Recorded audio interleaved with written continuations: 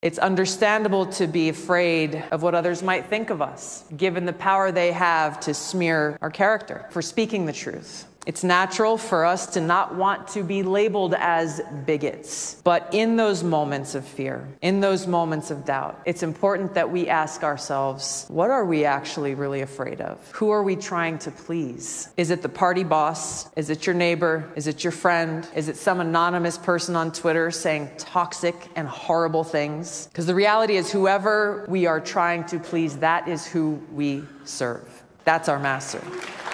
So it allows us the opportunity to ask ourselves are we here to please some person, or are we here in this world to do our best to please God? God, who is truly our best friend. God, who we know, without a doubt, loves us unconditionally and eternally.